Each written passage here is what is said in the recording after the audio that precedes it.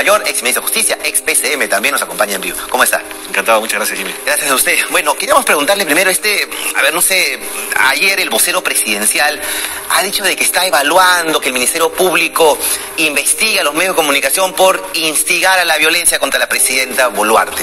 ¿Qué le parece ese tipo de declaraciones de un vocero de, Palacio? Bueno, primero que eh, hay que precisar que el vocero del gobierno es el, es el presidente o la presidenta. Bienvenidos a un nuevo video. Suscríbete al canal para más novedades. Última hora Perú, tu resumen informativo en las noticias más resaltantes. Comenzamos. Y el vocero alterno es el presidente del Consejo de Ministros. El señor Hinojosa es un funcionario que trabaja en Palacio, pero no tiene ninguna calidad constitucional ni legal de vocero. Entonces, esto es parte, yo creo, del desorden del gobierno, de no establecer claramente las funciones y los roles que tienen que cumplir los funcionarios de Palacio de Gobierno. Temas que me he encargado en estos últimos tiempos de estudiar seriamente, además, ¿no? de, la práctica que hemos tenido a nivel político. Pero digamos, que un funcionario del gobierno esté amenazando a la prensa y esté además como dando órdenes al Ministerio Público, que es un organismo autónomo, que por supuesto no tiene por qué hacerle caso a un, a un tuit o a, una, a un discurso o a una mención de un funcionario que no tiene además las capacidades para hacerlo. Claro, pero es absolutamente eh, insólito. Pero perdone, no, no es un comentario de cualquiera, no está en Palacio de Gobierno, convocado y demás. Tal vez el público no lo escuchaba, le invito al público también a que escuche al vocero, al funcionario de Palacio de Gobierno, quien funge de vocero de Palacio de Gobierno, precisamente. Eso es lo que digo hace algunas horas la presencia de la señora Presidente en la región Piura, tal como lo hemos señalado en esta vocería, actividades que se han desarrollado con absoluta normalidad. En lo personal, me consta que todas las actividades se han desarrollado dentro del marco de cordialidad, diálogo con la población, sin ningún tipo de acciones violentas como se pretende o se ha pretendido insinuar desde algún sector de la prensa. Esos hechos constituyen un acto más bien ilícito, que es una suerte de instigación a la violencia instigación al atentado contra las autoridades, situación que esperamos que el Ministerio Público pueda actuar contra quienes pretenden alterar la verdad de los hechos. En tal sentido, una vez más, no ha existido ninguna agresión, ningún acto de violencia, mucho menos, como se ha dicho falsamente, que se han lanzado objetos, se han lanzado piedras, eso es absolutamente falso. Es nuestra invocación a los medios de comunicación, seamos responsables en la información que propalamos y no generemos una instigación a actos de violencia donde no la hay. ¿Estamos ante un funcionario que se excedió o estamos ante un gobierno que no le gusta la prensa? Las dos cosas, ¿no? Yo creo que... Pero, pero acá hay una cuestión pues que, el gobierno tendría que atender. Eh, ellos tienen un área de comunicaciones muy fuerte, muy potente, cuando se quiere, digamos, desarrollar las cosas bien. Eh, y esta área de comunicaciones debería ser la que informe, la que produzca información de lo que hacen las actividades de la presidencia.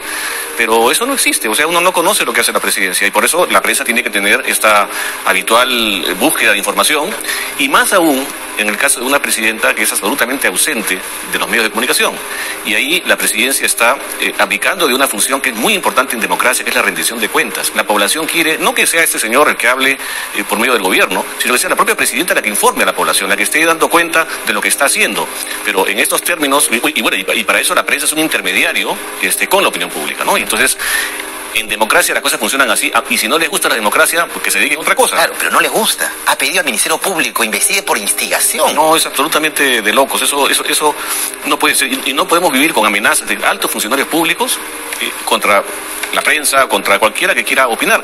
No olvidemos que los, el presidente, los ministros, en fin, son funcionarios que tienen una, digamos, eh, una eh, intimidad este, muy recortada, digamos, ¿no? La, posibilidad, digamos, de ser este, interpelados por la población. es muy... Interpelados por la población, pero no por el Congreso. Conversábamos hace poco, las siete horas que estuvo usted, estuvo en el Congreso alguna vez cuando fue interpelado, pero no hay eso, no, ya, no hay un, hay un control político del No, no, por lo menos con el gobierno no, con otros personajes sí, ¿no? Y, y aquí hay una serie de intereses, este, básicamente del Congreso para sostener a ciertos sectores en, el gabinete, sobre todo yo diría en el ámbito del sector interior, porque son muy cómodos para las funciones que están desempeñando o el trabajo sucio, si queremos llamarle así, en el caso del, eh, del, ministro del Interior atacando a la, Fiscalía, ¿no? atacando al, fiscal de la Nación. Creo que eso eh, es absolutamente recusable. ¿no? Claro, no solo es el ministro, sino es un Congreso que también saca leyes contra el Ministerio Público. Hay una docena de leyes que han relajado toda la arquitectura eh, de persecución al delito, eh, que, digamos nos va a pasar factura al, país. Ya estamos viendo que la violencia se está desbordando, ya no tenemos la posibilidad de hacer allanamientos como se hacían claro, antes. Y ahora el señor Salguana sale diciendo, vamos a evaluar si podemos... Y le enmiendan la plana. Así es. Inmediatamente. Entonces, eh, estamos en un momento de la historia del país este, muy negativa, muy, eh, digamos, que la gente lo está sufriendo, ¿no? Y le va a costar al país recomponer toda esta situación. Y colocar al señor Wittenbury, si es que es así su apellido, Wittenbury, en un ministerio clave como es el Ministerio de Vivienda, con investigaciones o acusado de obras inconclusas, millonarias pérdidas y, ligadas a Odebrecht. ¿Qué significa? esto este, eh, es una cuestión que ya la hemos visto mucho en el gobierno del presidente Castillo, con funcionarios que tenían cuestionamientos de violencia familiar, de, eh, por supuesto, antecedentes judiciales, investigaciones pendientes. Entonces, uno no puede entender cómo después de haber vivido esta etapa en el, país recientemente y que, y que además el Congreso expidió una ley que estableció ahora ciertos perfiles para los ministros. Antiguamente en el Perú no teníamos una norma que establezca cómo debería ser un ministro, porque eso era parte, digamos, de la, del acuerdo político de que digamos personas... el presidente llevaba la persona más idónea, ¿no? Sí, es una, una forma de dar un mensaje también. El presidente cuando designa un funcionario, un alto funcionario, un ministro, está dando una señal también al país. Si es una persona de derecha, de izquierda, esa señal la va, la va a tomar la opinión pública y va a saber más o menos por dónde va a ir. Pero si pones una persona prontuariada, digamos, a ejercer un cargo público, también estás dando una señal al país. ¿Y eso qué significa? Relajemos un poco, pues entonces, la percepción del delito. Vamos a, vamos a gobernarnos con personas cuestionadas, ¿no? Entonces, ¿Qué mensaje le damos a la policía que está persiguiendo el delito? ¿Qué mensaje le damos a todos los funcionarios públicos? Al país, a la población. A todos los servidores del Estado, ¿no? Roben nomás, acá no pasa nada. Puedes, seguir, puedes, puedes robar al Estado y ser funcionario público, te podemos nombrar ministro. ¿no? ¿Qué, situación, no? Lamentablemente, eh, eh, digamos, eh, la historia del Perú no era así, ¿no es cierto? En, el Perú se ha relajado mucho esto y se ha descompuesto. ¿Desde cuándo se ha relajado esto? ¿Desde cuándo? Yo diría que eh, la crisis política en el Perú que hemos tenido desde el 2021 en adelante, inclusive antes, ¿no? Tenemos, fíjate, de crisis en crisis, Desde el 2016, digamos, tenemos, tenemos seis presidentes tenemos 37 gabinetes, si no me equivoco. ¿No? Eh, entonces, tenemos una, una, una, situación de, precariedad de la función pública y a eso agreguémosle ahora que cualquiera puede llegar a ser un alto funcionario sin reunir ningún requisito, ¿no? ninguna, ningún antecedente. Entonces, eso es muy lamentable. ¿Y con Wittenbury qué se puede hacer? Si el Congreso no lo va a hacer, ya fue hoy día el Parlamento, una comisión. Bueno, habrá que ver, porque fíjate, para, para nombrar a un, eh, a un ministro, el día de hoy se requiere una declaración jurada donde la persona eh, exhiba todos sus antecedentes personales personales y, judiciales. Y, si él ha mentido en esta declaración, estaría configurando también un delito contra la fe pública, ¿no? Entonces, o falsa declaración. Entonces, en ese sentido, este, habrá que ver, y esa información ya es pública, cualquier ciudadano puede pedirla por acceso a la información pública y saber que efectivamente si mintió o no mintió. Pero en todo caso, la ley lo ha puesto así para que exista control político, porque luego del nombramiento de un ministro, eh, a los cinco días del nombrado el ministro, el primer ministro tiene que informar al Congreso del nombramiento de esta persona y de la declaración jurada que acredita que es una persona que no tiene antecedentes, que es lo que es lo ¿no? Pero en este caso, si no tenemos un control no político. Hay control político, está a cargo del Congreso, también desprestigiado y además, entonces, ¿ante qué La historia finalmente dará cuenta de todo esto. La historia dará cuenta. El ministro de Interior, usted lo mencionó, enfrentado contra eh, la Fiscalía y demás, se mantiene, hay, una, hay un pedido para interpelarlo, no firma la interpelación los congresistas, tampoco hay control político ahí. Mire, el ministro del Interior es la persona que ha seleccionado el Congreso para bajarse el fiscal de la Nación y lo digo así con total eh, apertura. está ahí. Él está ahí para eso y está para, ahí, para además para afectar la, independencia de jueces y fiscales. Eh, yo no he escuchado, por ejemplo, a, ningún político del gobierno, eh, salvo el ministro de Justicia, que sí lo, sí lo dijo, cuestionar este proyecto de ley de Valdemar Cerrón para, eh, digamos, crear una comisión fiscalizadora de jueces y fiscales. ¿no? Entonces, aquí hay una guerra entre el Ejecutivo y el sector judicial y fundamentalmente con el, con el Ministerio Público. Y creo que los abogados y, toda la población deberíamos ponernos al frente porque esta es una situación realmente que nos devuelve los años 90, ¿no? Toda la vida el poder político ha buscado someter a la justicia. Y hoy está Eso es parte de la historia de la República del Perú. Desde siempre. Y bueno, lo que, se, lo que se logró, digamos, en, los, a finales del año 2000, cuando se recupera la democracia y se devuelven las competencias a la justicia, era precisamente acabar con este problema de, de afectación a la independencia. Y ahora estamos regresando a un periodo que creíamos que ya estábamos superados. ¿no? Correcto. Usted el día de mañana tiene la presentación de un libro, lo tenemos aquí en pantalla, es el régimen jurídico del poder ejecutivo.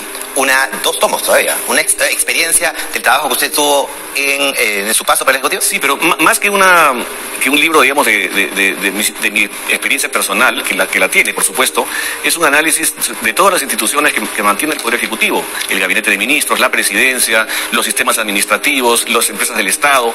Eh, es un análisis eh, que se efectúa de la ley orgánica del Poder Ejecutivo, es la primera vez que se hace un libro sobre la materia, y creo que es muy útil para gestores públicos, para el propio gobierno, a ver si con eso se informa un poquito más. señor Premier, de cómo, funciona. Algo de información, para ver cómo funciona. Sí, y para mejorar las cosas. Editado con, con mucha generosidad Gaceta Jurídica y estamos este, muy contentos porque creo que es un aporte para conocer mejor cómo gobernar el país que creo que nos hace falta, ¿verdad? Muchas gracias. Y hemos invitado a un integrante del renunciante directorio de Petro Perú y un especialista también en eh, temas de minería y demás. Es exministro también de Energía y Minas. Eh, primero, señor Pedro Gamio, ¿cómo está? Bienvenido. Buenas noches. Pedro Gamio, ex integrante renunciante del directorio actual de Petro Perú. Y al otro lado, Carlos Herrera Escalte, que también le damos la bienvenida, exministro. Muchas gracias. Y Minas. Muchas Muy buenas noches, gracias. Buenas noches. A ver, yo le preguntaría, yo iniciaría la entrevista, señor Gamio, hablando en esta mesa.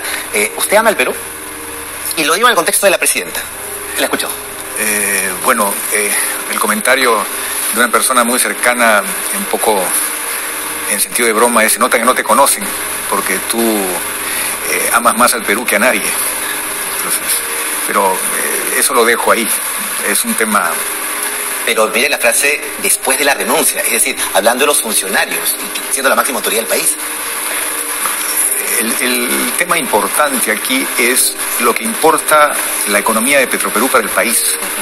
Eh, hay una relación causa-efecto directa con indicadores tan importantes como riesgo país, como déficit fiscal, como futuro del Perú. O sea, en pocas palabras, eh, no se puede separar el futuro, el presente y futuro de Petroperú de la economía del Perú. Y por eso ustedes hoy decidieron presentar esta renuncia.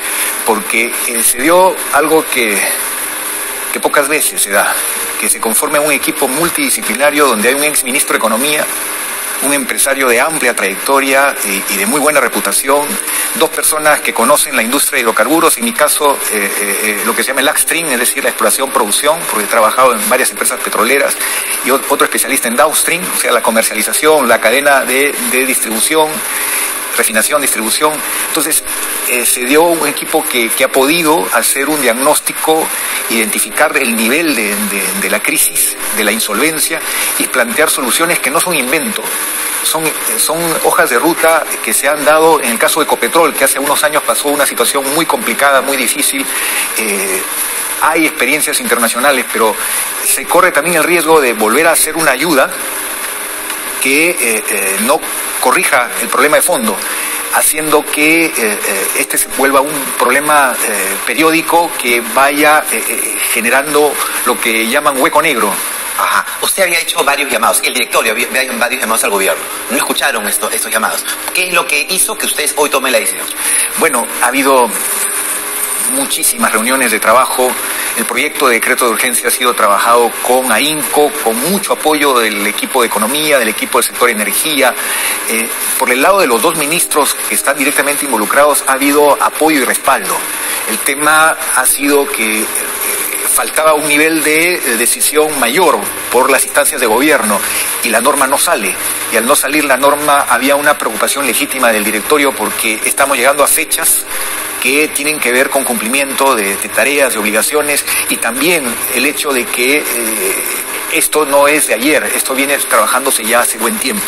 Correcto. Señor Herrera Descalce, ¿qué consecuencias? ¿Qué consecuencias esta renuncia de hoy? Este, bueno, lo ha dicho el doctor Pedro Gamio, ¿no? Este, hay consecuencias de carácter financiero internacionales. La más importante de todas es que pone en riesgo la calificación crediticia del Perú. Y si eso se desliza un paso para abajo, afecta a todo el país y afecta a todas las personas. Este, porque las empresas pertenecen al país. Entonces, la primera evaluación de cualquier empresa que está en el Perú es cómo está el Perú. Entonces, bajarle un escalón al Perú, que es el riesgo que estamos corriendo, es bajarle a todos. Ese, es un primer punto en lo externo. Y en lo interno, en plazos cortos, este, hoy el mercado es atendido por Petroperú, especialmente en la Sierra Sur del Perú y en la zona de la selva. Y esa es una sustitución que se puede hacer, pero con tiempo, con suficiente tiempo, con bastante tiempo y arreglando el tema de los precios. No se puede hacer de la noche a la mañana. Yo entendía que cuando se plantearon las soluciones, las soluciones estaban claras. Una solución era la quiebra y la otra solución era el rescate. Creo que quedó claro, para, esas, para eso sirvió la semana pasada, que la quiebra era mucho más onerosa que el rescate. Porque en la quiebra había que poner los daños colaterales, igual hubiera sido parte de los temas financieros, pero principalmente el tema financiero internacional. Entonces el rescate había que poner el dinero y se evitaba el otro problema. Pero esta demora, esta renuncia, nos lleva a que estamos, ya se había aceptado la vía del rescate, pero con las consecuencias de la quiebra por no haber atendido a tiempo. Entonces me parece realmente una solución este, absurda, ¿no? ¿Y cuánto tiempo más vamos a estar sin un directorio en Petroperú, una empresa importante? No lo sé, pero este, eh, yo leí el entre líneas del comunicado del directorio, mi interpretación, porque en dos ocasiones mencionan a la Junta General de Accionistas en buenos términos. Dicen fuimos nombrados por la Junta de Accionistas, no dicen fueron, fuimos nombrados por el gobierno. Luego dicen, en esa junta hay dos ministros. Claro, a eso voy, a eso voy precisamente. Y luego dicen, le agradecemos a la Junta de Accionistas, no dicen, le agradecemos al gobierno. De alguna manera dicen, el gobierno es el responsable. Entonces yo digo, pero la Junta de Accionistas son los dos ministros que tienen que ver con el sector, ahora principalmente Economía y Finanzas y después Energía y Minas. Y hacia ellos no hay ningún reproche, hay agradecimiento. Entonces, ¿quiénes quedan para el gobierno? Es fácil ver, no son los demás ministros, no es el Consejo de Ministros, serían, digamos, los que estarían ¿Quién está arriba? ¿No? El mensaje fue directo a la presidenta, señor Game.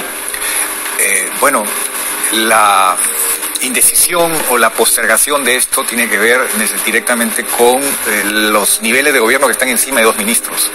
Hablamos del Premier y la Presidenta. Eh, eh, ¿O solo la Presidenta? definitivamente el alto mando del país. El, Premier no creo que tenga una, una, opinión muy especial sobre el tema, ¿no? Yo creo que él trata de llevar bien su gabinete. Entonces... ¿Y por qué la Presidenta no tomó una decisión? yo creo que la va a tomar pero no, puede, pero no puede demorar mucho porque el informe exhaustivo que ha hecho el directorio de Petroperú renunciante ha sido muy claro. Eh, eh, mientras más nos demoramos, el problema se agrava. Correcto. Iniciamos esta entrevista hablando de lo que dijo la presidenta. Para el público que no vio y no escuchó a la mandataria, esto es lo que dijo al respecto de eh, la noticia. Cuando a inicios de la mañana nos enteramos que el directorio de Petroperú había presentado su renuncia. Esto dijo Dina Bolor. Que esta mañana el directorio de Petroperú ha renunciado. Correcto. Tenemos que colocar seguramente funcionarios en ese directorio, pero que amen la patria, que generen través de Perú oportunidades para poder solucionar el problema. Podemos tener críticas constructivas, claro que sí, pero todos generemos el progreso de la patria.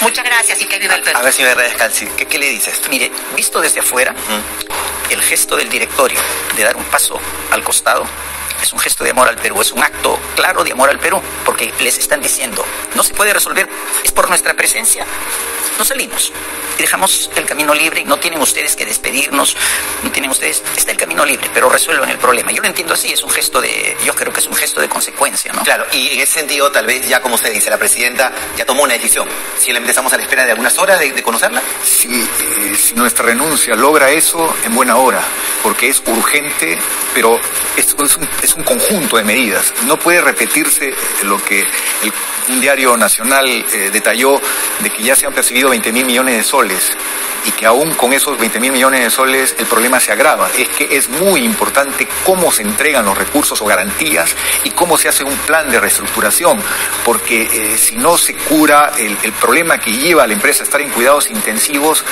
puede volverse este un problema muy eh, difícil de resolver. Por eso existen en el mundo financiero las reestructuraciones. No es como han dicho algunos que privatizan, no, es hacer los ajustes como en cualquier familia. Cuando el presupuesto no soporta los gastos de la familia, hay que hacer ajustes. Hay que buscar las medidas más eficaces para devolverle al, al mercado la confianza en una empresa que 80% de su historia le ha dado ingresos al país. Pero también hay que reconocer que la incidencia política ha sido nefasta. Cuando se decidió hacer esta nueva refinería, Petroperú estaba disminuido. Ya se había vendido la mayor parte lo más importante sus activos. No había una relación lógica entre el monto de la inversión que estaba asumiendo y su capacidad como empresa. Eso es un problema de origen. Es decir, la orden política fue muy clara, incluso ley del Congreso, que se haga una nueva refinería, pero la observación básica era, ¿podía Petroperú asumir tremenda deuda en ese momento? Y la respuesta es no. Bueno, eh, siempre escuchamos, cada cierto tiempo, mejor dicho, hablar de Petroperú. Para el público que nos escucha, ¿por qué es importante Petroperú? A ver, Petro, Petroperú nace en los años 70. El Perú, este, en la era del petróleo, en el Perú se perforó el segundo eh, pozo en el mundo y se encontró petróleo. Y el Perú fue desde sus inicios un exportador de petróleo. Esa condición terminó en el año 68 y en el año 68 se, venía que, se veía que en nuevos tiempos iba a ser necesario no depender tanto del petróleo. Entonces se creó Petroperú a inicios de los 70 y Petroperú tuvo éxito. Se fue a la Amazonía, en tres sitios distintos hizo tres perforaciones y tuvo éxito. Y le cambió la cara al Perú.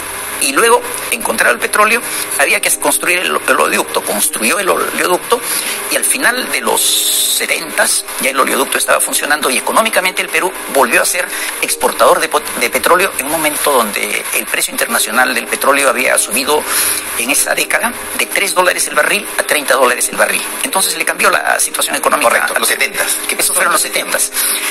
En, en los 80 la empresa dio un mensaje claro. No se puede mantener, no se puede seguir siendo exportador si no se explora.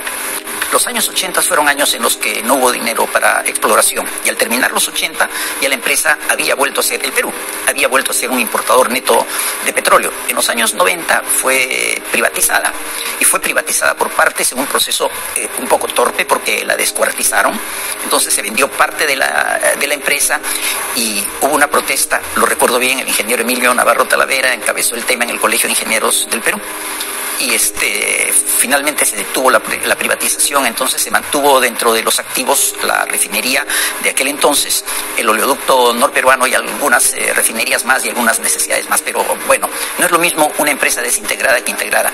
Petroperú ha dado resultados positivos hasta por ahí, si la memoria no me traiciona, el 2014. Entonces no es una empresa que haya necesitado este capital en todo ese tiempo y se ha mantenido. El gran problema ha venido cuando fue a hacer una obra que estaba más allá de sus posibilidades. Que nos hablaba. En el año 2022, no en el año este, esto fue en el año 2014. no, en el 2020. Y hasta acá este resumen informativo. Como siempre, te invitamos a que te suscribas al canal, actives la campanita de notificaciones para que seas el primero en enterarte. Recuerda que la información es poder. De antemano, muchas gracias por tu atención y será hasta una próxima oportunidad. Hasta pronto.